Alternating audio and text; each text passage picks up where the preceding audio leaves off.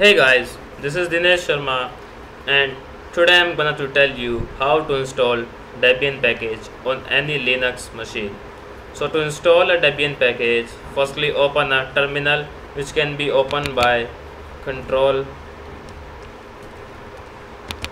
plus alt plus T.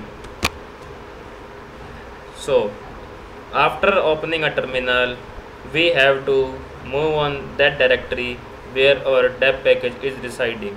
Currently i have downloaded a debian package and it's on my desktop directory.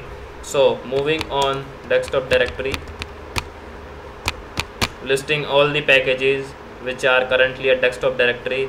It shows up only one package that is sublime.deb to install this package there is a command which is sudo dpkg minus i sublime dot deb here sudo means that you are installing this package as a root user. And this is the this is our package name. So it will ask for a root password. And now it's installing the package. And yeah it has successfully installed the Debian package on our Ubuntu machine so we can remove that we can also remove that by using the command sudo apt get auto remove package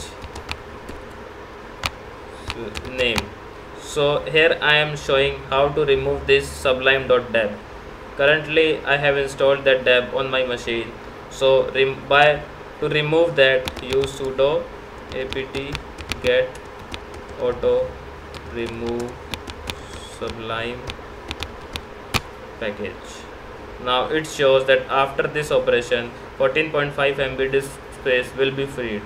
Do you want to continue? Yes.